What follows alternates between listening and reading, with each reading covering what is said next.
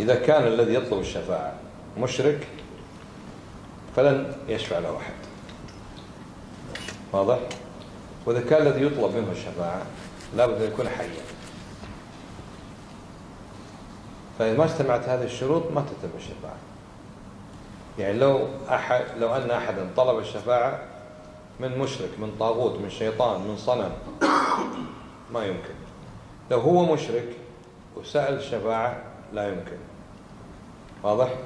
لابد أن يكون هو موحد ويطلبها من من موحد. لابد إيش؟ من رضا الله عز وجل ومن إذنه. فإذا سألوا الشفاعة ممن لم يرضى الله عنه أصلا. ما تقبل الشفاعة. واضح؟ لابد أن يرضى الله عز وجل عن الشافع حتى يشفع. ولابد أن يأذن الله عز وجل للشافع أن يشفع.